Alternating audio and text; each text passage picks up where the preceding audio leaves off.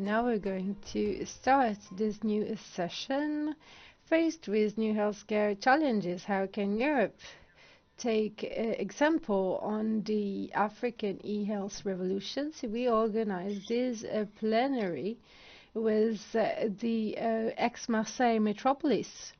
The representative of the metropolis is going to be here really soon. She's stuck in uh, the traffic for the moment but we are here with many uh, actors who work in the e-health field in Africa, actors who work on the ground. So there are many uh, uh, startups uh, that will be represented, so startups from uh, different countries, and we will also uh, speak about examples of innovation with the Africa Europe Foundation. We will also speak with uh, Israel Bimpe, is the director for Africa Go-to-Market, uh, a startup called Zipline.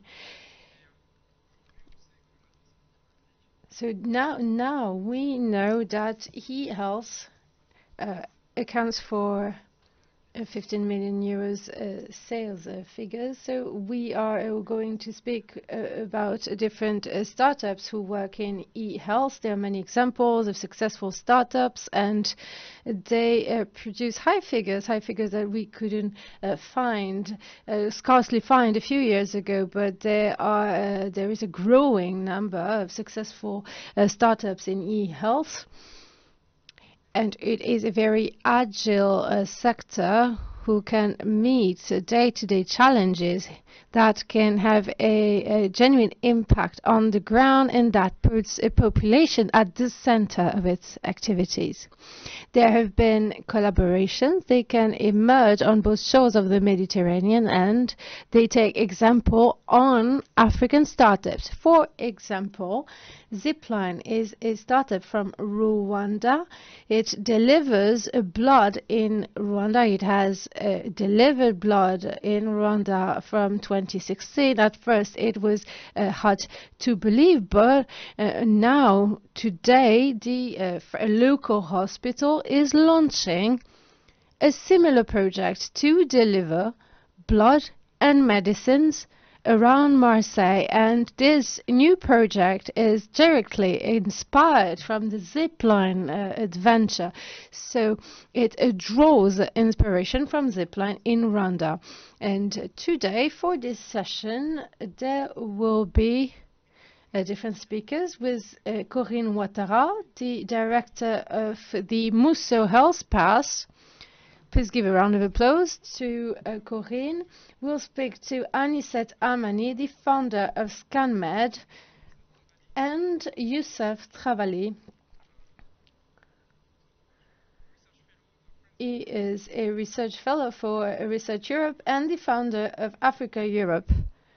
Please uh, give a round of applause to Youssef.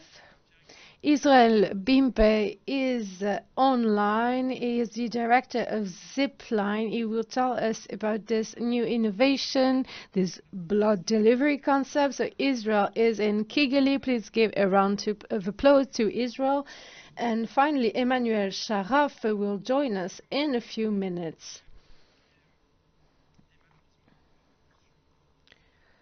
So let's uh, start the uh, Minister of Health of uh, Congo isn't available this afternoon, unfortunately. He has a presidential hearing and he couldn't join us. He, uh, we planned to have him online and he apologizes, but he won't be here tonight. The vice president of the Aix-Marseille Provence metropolis has just arrived. She will soon uh, come to the stage along with us. And let's start with uh, Youssef. When uh, we face a healthcare crisis, there are challenges in the field of public policies. So let me remind you that this is a hybrid event there are a limited number of participants on site, but there are many people following us online. So many people are listening to us, which means that many people will uh, want to contact you on the platform later on. So we have uh, talked about knowledge transfer to uh, techniques to uh, control and use local knowledge. So how can we advance on this front when we face a new variant? And here's the second question for you, Youssef. So how, why can we take advantage of digital technologies to advance health? What can we do on the ground? And what can e-health revolution uh, provide us? What can it provide us to uh, advance on the European continent? And uh, let us welcome Emmanuelle Charafe, the Vice President of the Aix-Marseille Provence Metropolis. Thank you for being here. That's a complex question. I will start by uh, giving you information about the Africa Europe Foundation. Africa Europe Foundation. It is a network, a platform of a platform. It is a multi-stakeholder network with different uh, different fields of actions there is a group with uh, stakeholders, there is a women leaders group, and there is a strategic group. There are uh, five uh, strategic thinking groups on different fields, above all energy, transport, health. There's also a, a group on digital technologies, and I'm the head of the latter. So this foundation has three main objectives as of today. First of all, we uh, we work on funding health in the to produce vaccines in Africa. That's one of our main objectives. Secondly, we work in AI and emerging technologies in the field of health. So we try to take advantage of digitalization in the health sector. Our third main objective, last but not least, builds bridges between health and uh, climate challenges. Climate change will have an adverse impact on health, so we uh, work on this. So the pandemic has taught us that we need to focus on prevention. Prevention has to be one of our priorities. In the past, we have focused on uh, treatments, but if we want to take advantage of prevention, we must first and foremost level vaccine productions in Africa. So Africa must make as many vaccines as anywhere else. So we must focus on vaccine production. So then we'll be able to really focus on prevention. Artificial intelligence and emerging technologies will play a crucial role on this uh, on this uh, in this field. So let's take, for example, chronic diseases. They cannot be uh, prevented, or they can be prevented. They can be linked to genetics or to uh, to climate. So we could use digitalization to uh, prevent these diseases and to reduce their impact on healthcare on healthcare systems in the long run. Furthermore, some of you might know how African healthcare system work, the, py the pyramid-like uh, systems, and there are challenges as for to access uh, information horizontally. So here what we can do is we can use what's being done in Europe. And you might know that in Europe there is a, a healthcare uh, European database, and this database will help us collect a lot of data, and we'll be able to use them for treatment, but also for research. We could draw inspiration from such a system to create an African database shared between different countries and different healthcare actors. There's also another challenge with a building capacities, capacity building. So we want to set up a human resources observatory in the field of health. we will need to uh, create a pool of uh, workers for health and for digital technologies, uh, people who can work in both fields. So that's really interesting uh, topics. You already mentioned a few interesting opportunities, but now let me welcome uh, Emmanuelle Charafe. She's the Vice President of the Aix-Marseille Provence Metropolis. That is one of the, of the main partners of this event, and every year we speak about e-health. Our territory has many assets for health management and more specifically for healthcare policies. These uh, concepts are uh, distinguished or recognized uh, overseas, especially in Africa. So can you tell us more about these healthcare policies and about these uh, partnerships with Africa? Good afternoon, and thank you for organizing this fifth edition of Emerging Valleys. Thank you for choosing us to organize, co-organize this event. I would like to thank all the participants, those who are here and those who are online, and uh, we uh, have to uh, organize, we had to organize this uh, conference partly online because of the pandemic, but it shows that we can still collect, have a, a an important, crucial input uh, from far away. But anyway, we don't have any choice. You mentioned uh, partnerships who depend on the characteristics of different sites and different partnerships. Here we have a very important healthcare ecosystem that we can share. Our healthcare ecosystem is vibrant it is rich and uh, the, it brings together uh, integrated uh, stakeholders, uh, stakeholders, local stakeholders. These healthcare ecosystems brings together public hospitals, research institutes that uh, are that play a crucial role. It is also uh, very uh, going very well for biotech obviously we faced this uh, health crisis and uh, Marseille is not Paris. That's why the metropolis has uh, strived to uh, to diversify its activities and to expand on the territory. But we have a good equipment. We've got uh, 14 underwater cables coming together here, and we are trying to uh, put forward a, a great offer so that we can become a hub that will build bridges between Europe and Africa. We are in the middle and we have a fit a digital equipment to uh, go ahead. African countries are have always been our partners in the healthcare in the healthcare sector. And 60% of international collaborations are uh, with Africa here. The IHU opened a laboratory in Dakar to study infectious diseases in developing countries.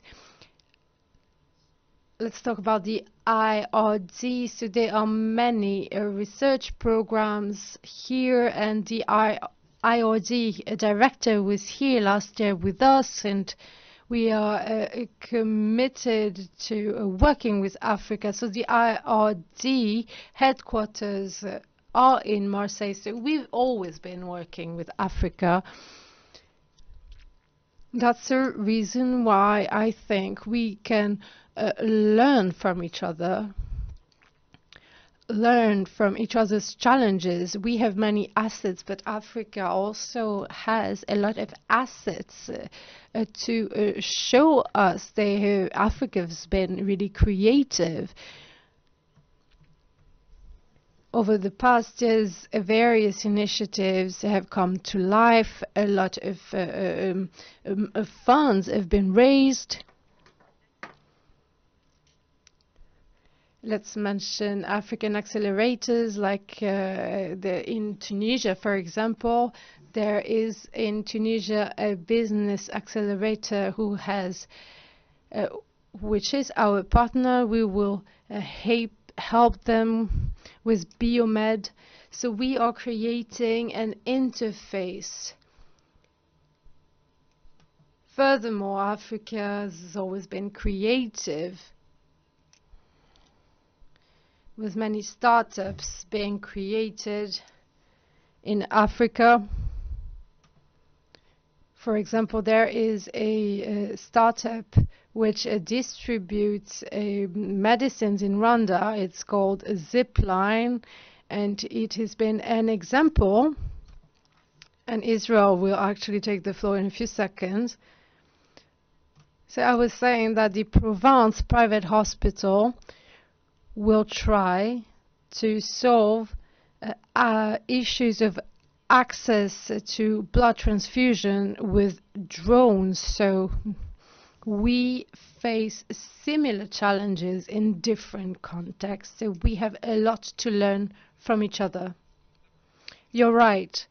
So please give a round of applause to her to uh, Emmanuelle Charafe. This is a great example of how a great, a great innovation in Rwanda that is delivering blood in Rwanda called Zipline has inspired our territory and the uh, Provence private hospital is going to emulate uh, the zipline concept. So we uh, don't uh, operate in the same context but it is the uh, an, an, inspiration. And now over to Israel Bimpe director of Africa go-to-market of Zipline. Do you speak French I do speak French, but uh, for now I will kind of speak in English and hopefully uh, you will get to have the translation. I'm uh, also very aware that there might be a delay, so my, my voice is probably getting to you a bit later than my video is getting to you. Um, no problem. First of all, I would like to thank you very much for the invitation and, and for really uh, having me here. It's such a great pleasure for, for me to be present, and I congratulate you on pulling off an amazing event. I did follow through some session earlier in the morning. Thank you um, I, as I said, I think Zipline is, a, is, is one of the pride of the continent, and I've been with Zipline for four years, and I'm one of the Rwandans who joined Zipline for the first time to really try and establish it in Rwanda, and now I'm in charge of scaling it across the continent, which is a testament of really the capability that we are able to deliver. As, uh, as an innovation, we are at the, the, the heart of two highly regulated industries, which is aviation and healthcare. And one of the things that's been amazing for us is seeing countries like Rwanda, countries like Ghana, embracing this at a faster pace and at a very unprecedented pace than, than many other developed countries. So when we started in Rwanda, uh, we, we only started with blood, but it only took us one year for us to scale countrywide. So we are the primary supplier of blood outside the capital. We deliver more than 80% of national-wide blood products. But we are not only that, you know, even if we started with blood, we proved the concept. The government really was willing to expand and say, what else can we do? And, and really, how can we transform supply chain or healthcare system around such a system? And, and, governments in Ghana and many other governments in Africa are following suit. And, and during the pandemic, I think when everyone was locked down, the whole world realized like what's going on in Rwanda and Ghana is what should be happening everywhere. And so authorities in the US um, allowed Zipline to start operating in May 2020 uh, in North Carolina. And so we are now establishing new partnerships in, in that sense. And, and I think since the pandemic, people are not only looking at that access and that emergency access aspect, they're really looking at supply chain and how can they be transformed with such a technology.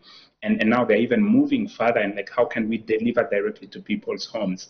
Uh, for example, here in Rwanda, we are delivering to people's homes cancer medical products in combination with telemedicine's uh, approach to treat cancer patients who are on long-term medication instead of having them travel eight hours across the country. In, in, Ghana, we are responding to the COVID pandemic and we've delivered more than 300,000 doses since April and, and really ensuring that whenever the, the, the, the, vaccines arrive in the country, there is an equitability aspect to how they are distributed across the country and no one is left behind, regardless of where they are based and where they are geographically. And uh, this, all of this is done by Africans. You know, as, as I said, I'm an example of this. But whenever the Zipline goes in a new country, we localize it 100%. Each of our hubs has up to 50 local young talents in those communities who are not only ensuring that our product is used to solve problems in those communities, but are also driving community acceptance. Before Zipline drones were only known for something very, very different, and we really have to get community buy-in from the get-go. And so it's, it's such a pride for us to see that we are able to drive this, and it says a lot about how much the world can still learn from the African continent, and the fact that we are not only transforming one industry, which is delivering healthcare using you know technology and the fourth industrial revolution in that aspect, but we're also transforming how people think about urban mobility and aviation and, and everything related to that. So it's um, it's such a pride for us to be doing that, and, and I'm very grateful to be sharing this with you. Um, and, and, happy Thank to you. continue conversing and answer some specific question in that sense. Thank you so much. Thank you very much, Israel. Israel, what is the reaction when you hear that uh, here in Marseille and uh, this is uh, Vice President Charafe said that uh, uh, Marseille we try to implement the technology of Zipline to deliver blood and medicines with the Hôpital Privé de Provence. What is your reaction? W would you expect that a few years ago?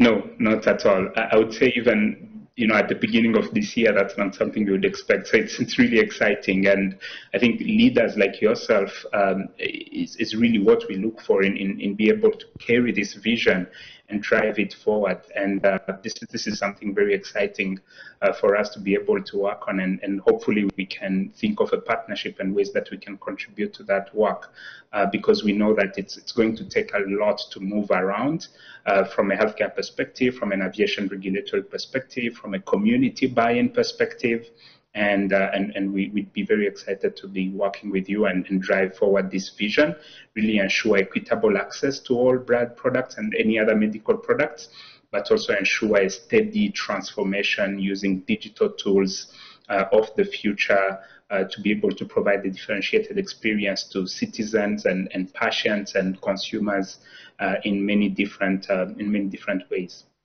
Thank you very much. Thank you, Israel. On peut applaudir Israël depuis, euh, depuis Kigali, Rwanda, pour son... Please give a round of applause to Israel for uh, this uh, account. And now uh, let's uh, talk uh, about uh, a concrete example from the ground. So we'll hear the point of view of startups. And here is Corinne Ouattara from Abidjan. She is the founder of uh, Pass Santé Mousso a project, and uh, I saw the uh, it when it was born, uh, and uh, I was out in the field in Abidjan at the time. So, so of course, uh, you as an uh, Cote d'Ivoire uh, woman and you aid women there. And can you tell us about uh, your uh, Pass Santé Mousso and how uh, all of these elements of African health can be transposed? Corinne, the floor is yours. Yes. Hello, thank you also, Samir, for the opportunity that you give me uh, to talk about this. The uh, uh, this platform, Pass Santé Mousso, is a support and device, and it's on the web, and it could be a brass a bracelet or a medal. I wear it. I am wearing my medical dossier, my whole file on me because uh, you know just in case of emergency because uh, a crisis situation can't wait. And so there's several functions here. You've got the little uh, uh notebook uh, the digitalizing uh, the pathway of the patient for example. And of course you can take the mother and child from prenatal to postnatal stages is uh, uh, taken on and uh, followed and treatment, detection, everything. It's a full patient file uh, very complete, and not just for women, everyone, uh, contrary to what one might think. Uh, of course, the child, and of course, this is a problem that could be part of the National Development Plan and or you could be uh, asthmatic like I am, and you can have chronic. Uh, uh, you could be affected um, in a chronic chronically, but I think about ten uh, percent of uh, admissions to the emergency uh, ward are due to medical errors, actually. And so uh, this pass will help us uh, reduce all of this. And right in the heart of the pandemic, for example, we can see uh, you know how where we're at and of course yes and of course yes you did. You were there when the past was born at the time. Uh, you know it, it, at the time it was a bit futuristic. Uh, we were saying uh, how could that actually happen? Is it really going to take place and will it really emerge? And but then we realized we really had to go digital. Uh, how can you you know have um, a medical uh, visit uh, you know and how can you be followed up? Uh, uh, because everyone was even afraid to go there to go to these health centers uh, or um, dispensaries and so today, your uh, Pass Santé uh, you were able to convince the health minister, and I think you're the one that actually does the support. You support them well, yes uh, we really have gone a long way. And as of 2019, we were able to have an agreement signed with the health minister. It wasn't easy because new technology marriage, you know, uh, isn't necessarily one that lasts, but at least we can save lives this way. So I can't really say that I support them, but I do participate in the public health um, agreement and convention that was signed. So, but it's also my um, uh, overarching ministry and uh, of course, it's uh, of course and innovation as well. Yes, so well done, Corinne. Congratulations. And this has enabled us to have licenses because you know we're we've got very delicate and sensitive data included in these. And so the regulators must be able to check and uh, see what we're working on. So this double authorization, you know, with the innovation and uh, uh, the pass, of course, we enables us to move forward rather quickly. And we just signed an agreement uh, for a national deployment of these because we have 200 we signed this with the post offices we have 200 post offices and so they will be able to distribute these there's telemedicine as well but you can't do it without this pass because we do not we don't um, uh, take over uh, for the telemedicine uh, sector, but this comes to as a contribution to it. And so these are all sorts of different things that we can do with this health pass. There are more than uh, 22 uh, members on the platform, and these are people that can any kind of public health program, um, breast cancer, prostate cancer, prostate uh, cancer, radiotherapy, uh, and so there's a network of professionals. Uh, not everyone can just come to Abidjan, and you uh, can't always afford the cost of some of the treatment. And so you can, some of it can be done from home. And so, of course, with all of the data, we partner with ScanMed as well, and all the startups. And that's one of the great advantages of this health pass, the Muso health pass.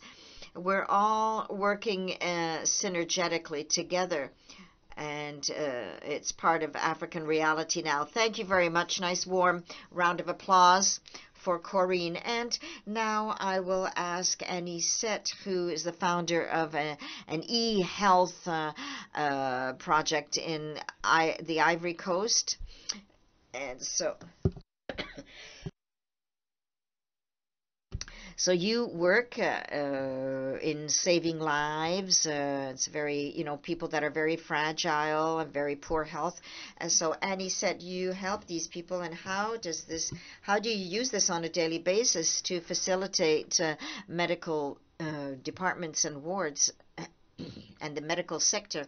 Well, we're a telemedicine sector, uh, medical visits online, and it helps the uh, inhabitants, especially populations in the heart of the country in Ivory Coast, to have access to um, general practitioners. And here we have a few figures that uh, justify the development of this platform in the Ivory Coast. Uh, most, uh, as most African countries, they have a health uh, system in the form of a pyramid uh, first or initial contact health centers, they're called. This is an initial contact with the health centers, but uh, a very serious figure is um, 90% of uh, the medical visits in the uh, health center in the Ivory Coast are done by nurses, actually, and the, in these uh, initial medical contact centers. And they most of them don't have an access to a general practitioner at all. And so on our platform this population can easily access a general practitioner or a specialist uh, doctor. And how do we do it? We are in an african country and so uh, people aren't always at ease with the uh, IT tools. And so we have, uh, you know, in these health centers, uh, these initial contact uh, dispensaries, if you wish, um, uh, they use uh, computers, and when the patient comes to the health center, they can contact from based on this platform they can contact um, a remote doctor somewhere. Um, and in Abidjan, uh, we have uh, uh, one doctor that works on the biggest cardiological center in Fran- Fran- in Western Africa. And so we can help people in the area of cardiology uh, six or seven or eight hundred kilometers away from Abidjan. And so um, we can help them and uh, um, bring health uh, elements to the entire population. Uh, thank you very much. I would like to applaud you warmly for this. So we've seen these two startups, Anisette and uh, Corinne, they can change things. And so uh, now... Um, if you are still hearing us, we know that uh, e-health requires, requires many precautions about data security, including uh, collecting, storage, anonymization. According to you, what is the current situation in Africa about this, uh, this issue? And uh, how can we generalize good practices in uh, uh, e-health about the question of the, the data and the security of the data protection? Yeah, I, I, do think there are two dimensions to, to this. There is on one side the startups that are building in the space in terms of setting really high standards of uh, how they manipulate and manage data of the users of their platforms. But I think on the other side, we also have to have policy response and activity around a framework within which it's working. And I would say, uh, you know, on the startup side, I think there is a maturity that has been going on over the last few years in terms of uh, really building scalable uh, data frameworks that are really protecting the uh, patient's data, but also allow the right level of interoperability and the right level of research and other things that we can do when data is open and shared across the board. Um, and so I, I, do see companies really maturing in so many ways using the latest tools and then you can see moves by big players like um, uh, Amazon Web Services and Microsoft and, and others in the continent and playing a bigger role in that as well. Um, and, and on the policy side, I think um, Youssef is much more plugged into that work, but we are seeing so many governments uh, really adopting uh, some of the latest regulation, uh, most of the time inspiring themselves from the GDPR aspects of what has been happening uh, with the European Union. Uh, for example, Rwanda just adopted one of those in, in the last six months, and many other countries are following suit. Um, and, and with things like AFCFTA, that is allowing some sort of harmonization across the continent, probably we will have um, a, a, common policy and political framework under which uh, that, that people can work on, which I think will create a bigger advantage as many of these startups have to scale beyond their countries. And uh, one of the biggest challenges that many of them face is the different regulatory frameworks that they have to abide by, which makes it so hard to build in this space and scale continent-wide. Um, so I think that those two dimensions, I think there is a certain level of maturity that has been happening in the last year or so. Um, and it's something to, to be celebrated. But uh, I think uh, we have to call for more of that to be happening. And startups like ours do try and take um, a step forward to set to set really the standard where you are. Like Zipline, we we set we, we put ourselves on really the highest possible standards. For example, we follow the US FDA HIPAA regulation in terms of who has access to the data and who can manipulate it, and, and how we store and manage it in the company. We localize all the data in the country where we are operating, and those kind of practices internally are really things that we should build into the culture of companies and how we operate and behave. It's, it's some ways to build uh, trust with the users as well as the partners. Um, and, and then often than not, we will lead in front of policy uh, frameworks, but they, they do tend to follow quite quickly, and it's, uh, it's something exciting. I think it speaks, uh, when you look at it from a big picture, it, speaks so much to the maturity and the maturing aspects of um, policymakers on the continent on, on issues of digitization and digital health more broadly, and the realization that it's a, it's a no-brainer, it's happening, and we just have to accompany it in some ways. Um, so that, that's, that's, that's what I'll share on that. Thank you very much. Thank you, Israel. Merci pour, thank you for your, for your message. I go back to you. Um, je reviens vers toi, uh, Youssef. Youssef, uh, how today with respect to what Israel has just said uh, regarding policy making and public uh, with respect to Africa and uh, in the realm of health and e-health. How can you uh, make advances in terms of cooperation and concrete cooperation? Um, and what structures can we set up for example, this type of very concrete example uh, between uh, the metropolis uh, and the private uh, hospital of um, Marseille and the African ones and what Corinne and Anisette have uh, presented. Uh, can, how can this be a, a great lever to render all of this operational? Rather than just uh, staying at the uh, magnificent political declarations level. Yes, effectively, indeed, uh, we have the, there are some cases like this in Africa that we can talk of. And this is the model that we try to uh, labelize the circular innovation model uh, on two continents.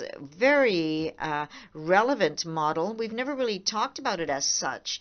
And what we see is through such a circular model, we see knowledge circulate, skills circulate, technology circulate circulate and uh, financial instruments circulate as well.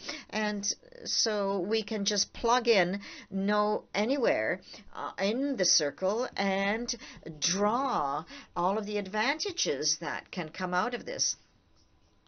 On stage two, I saw this morning uh, someone who said that in France we have the best researchers, extremely high performance, uh, but we have to be able to enhance it and um, add value uh, to it. Of course, uh, there's very low investment rates uh, in research. Uh, it's one of the lowest peaks on a graph, and but we must uh, plug into this for innovation purposes, and from the innovation go to Africa, Europe, uh, Europe, Africa, and. Uh, uh, the United States and other places. So we have to have this uh, cooperation model, which I think will be a very well balanced one between Europe and Africa. And secondly, uh, we should be able to uh, set up um, uh, the executives that can, or focuses actually, one e ethics, work ethics uh, in the digital world, we don't uh, look very closely at ethics. And so, secondly, uh, data. we're going to have to work on interoperability, the laws governing this and sharing data. Thirdly, anything that uh, touches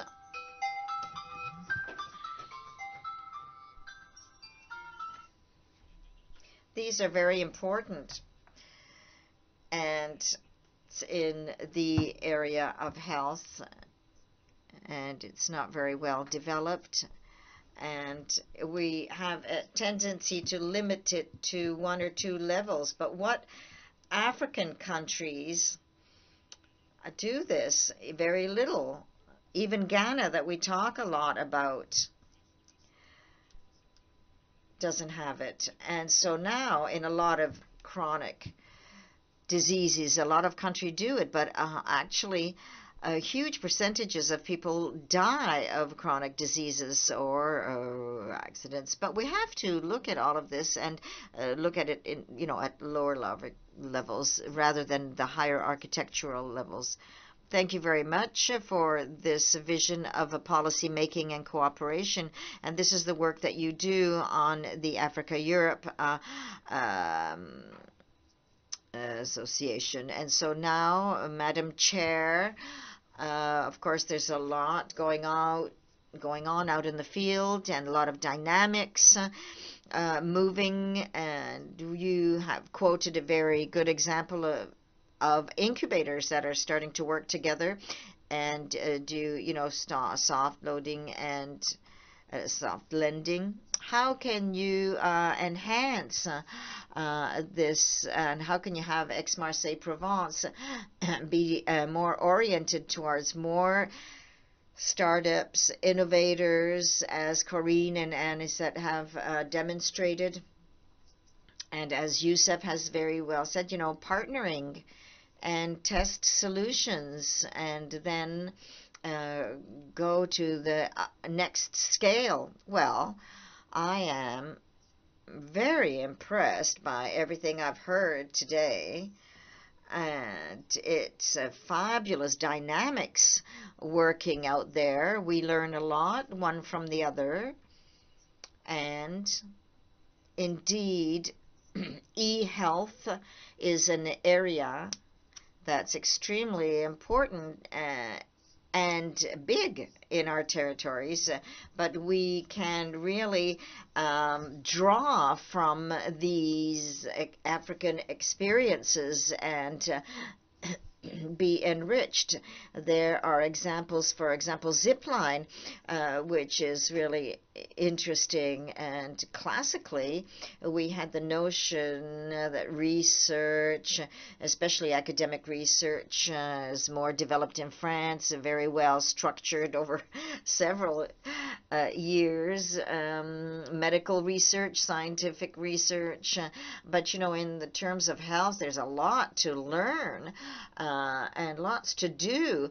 And uh, this. Um, it's a win-win situation, co-construction, co-experimenting, co-building. And so these are things that we could be setting up together. And we've got a lot to learn from what's happening in e-health in Africa.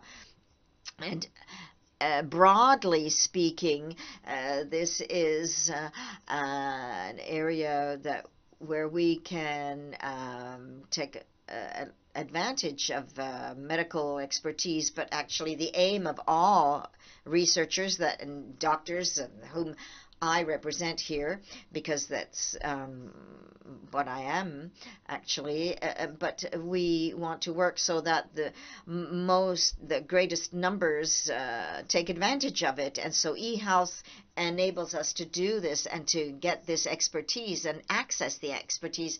I'm very impressed by the medical, new digital uh, medical file, the PASS health, the Muso Health Pass, for example.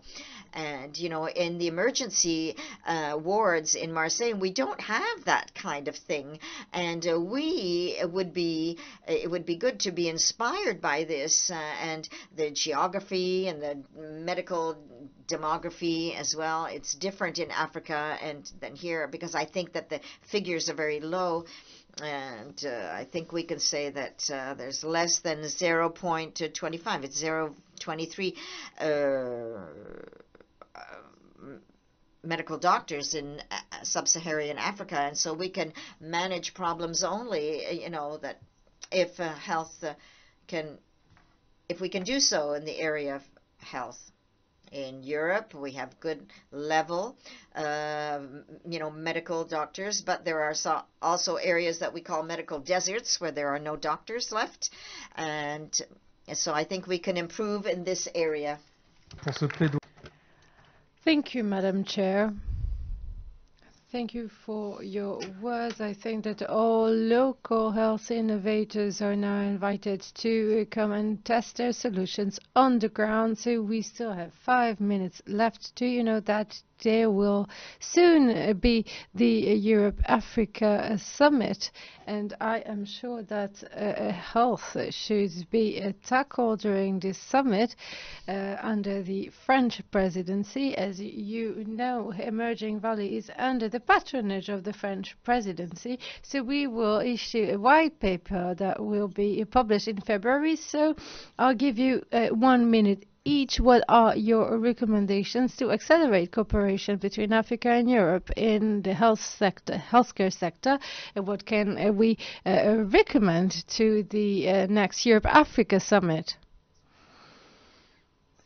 So, uh, as a recommendation, I would encourage uh, uh, collaborations. I would promote the implementation of very efficient healthcare system we have solutions that work there, but that could work here too. So we have here the opportunity to get in contact or to match uh, structures and entities that work here so we could work together.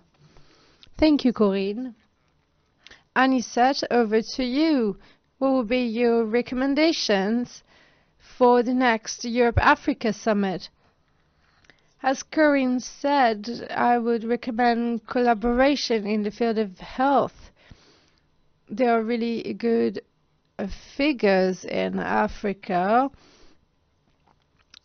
as for the number of uh, doctors per inhabitant, uh, according to the population, so now what we can do to help uh, locals is, uh, for example, you can have anyone in Abidjan who can mm, get in contact, who talk to a doctor from Marseille over uh, the internet, so we could avoid uh, journeys and traveling, so we could start new collaborations with avoiding and avoid uh, troubles. I think that I do think that medical co cooperation is crucial.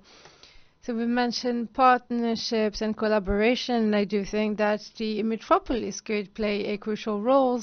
Well, there are synergies between the territory and your solutions. This uh, metropolis could be uh, could host uh, tests and innovations. Youssef, over to you. So as a conclusion, I have two suggestions. Well, I only mentioned one. I think we should set up an observatory for uh, skills in the field of health or e-health. This sector is evolving and soon we'll need skills in every level, uh, that is in uh, the medical field as well as in other sectors. Of the uh, Africa-Europe uh, Summit, uh, what would you be your recommendation in terms of cooperation in the e-health sector? I think I would come back to what Youssef spoke about earlier, which is the circularity of uh, Europe and Africa in collaboration, which many others pointed to. I think it's important that we build pillars of what that that build that circularity will build on in terms of exchange of talent, exchange of capital, exchange of information, and and you know really talent observation and making sure that there is some sort of circularity and partnership uh, across the continent that creates some sort of uh, one foundation or one infrastructure that is common on which both continents and innovators and governments build on uh, to develop their, their respective e-health industries that, that I really believe will end up being one and, and standardized across the world. So uh, that's really my recommendation for us to see those clear pillars of what that circularity will be in reality uh, uh established. Thank you so much for having me. Thank you. Thank you very much, Israel. Et enfin, euh, Madame. And finally, over to uh, Emmanuelle Charafe. What would be uh, Marseille's message? What can we do to accelerate the cooperation between Europe and Africa ahead of the uh, Africa Europe uh, summit? To sum up everything that's been said so far, I do not have any very uh, original uh, recommendation. We've mentioned collaboration, medical collaboration with a remote expertise. I heard about uh, an e-health observatory was also mentioned. This is a really interesting suggestion. I think we should co-build together, no matter where the skills are. We can do it online. Data and user data should travel in a safe way, obviously. Uh, this will be one of our main challenges. So we should make data travel, not people. So that's what we should focus on. We should also uh, focus on co-building skills and building on everyone's assets Thank you very much.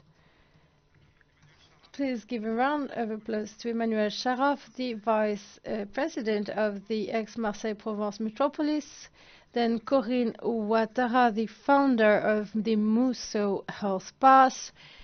Israel Bimpe was here with us too from Kigali in Rwanda. Thank you, Israel. Anisette Amani, and finally Youssef Travaly, a research fellow at the Africa Europe Foundation. Thank you, everyone. We will uh, now take a photo before the next session. Thank you.